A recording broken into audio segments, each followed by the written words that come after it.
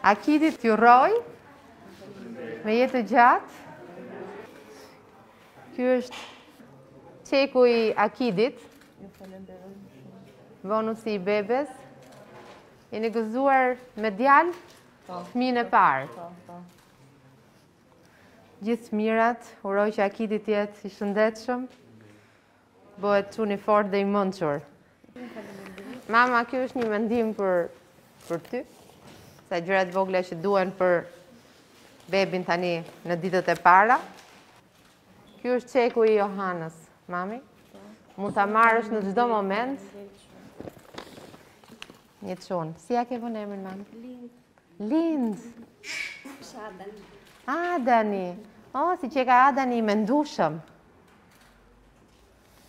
Adani të rrojë, me jetë të gjatë, edhe gjithë të mirat urojmë për të. Eden, ardhç i mbarë, edhe gëzofsh prindrit e tu, edhe të gjithëve në, të rritet I shëndetshëm edhe i fortë, siç janë çunat, trima. Tashmë është bërë një traditë e bukur që çdo fillim viti, çdo datë një, vij për të vizituar fëmijët e porsalindur, Janë shtatë fëmijë të cilët tashmë pas mesnate na kanë gëzuar këtu në maternitetin Mbretëresha Geraldin dhe me të vërtetë jemi shumë të lumtur. Shumë faleminderit ju, kush ka qenë në korsi në këto 24 orë, e di që i keni munguar familjes, po keni bërë shumë familje të lumtura.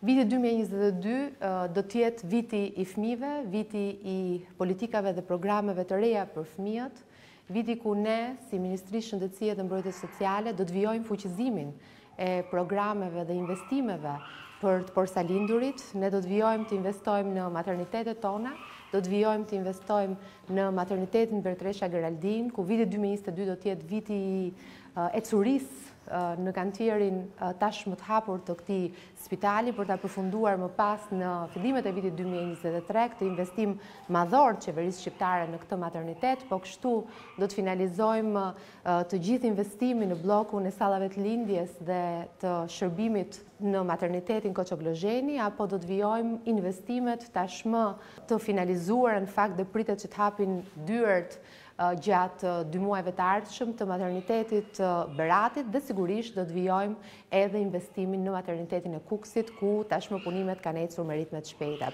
Tashmë, për këtë vit, ne do të kemi një mbështetje direkte për gjithë fëmijët pa kujdes prindëror, për fëmijët jetim, duke trefishuar masën e ndihmës ekonomike, apo për të gjithë nënat të cilat janë përfituese të programit të ndihmës ekonomike, pra familjet që janë përfituese të këtij programi do të kenë mundësi pra që të marrin dyfish të ndihmës ekonomike për ato familje të cilët kanë plus tre fëmijë apo më tepër në kuadër të mbështetjes direkte të këtyre familjeve. Ndaj ky vit do të jetë viti i programeve të reja. Ne do të hapim një program ekskluzivisht për fëmijët për kujdesin e syve, Ndaj treqind mijë fëmijë do të mundet pra të depistohen për sa i përket kujdesit të syve dhe do të kemi mundësi pra që jo vetëm ta përfshijmë si paketë të re në kujdesin parësor këtë program pra të ri që po hapim, por dhe ta investojmë dhe të investojmë në këtë program nëpërmjet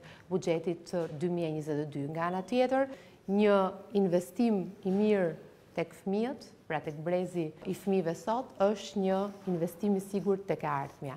Ndaj nuk do të ndalemi së investuari tek fëmijët tanë, duke filluar nga të porsalindurit dhe jam këtu sigurisht edhe për të thënë se programi ynë i bonusit të bebes është një program me të vërtetë i suksesshëm.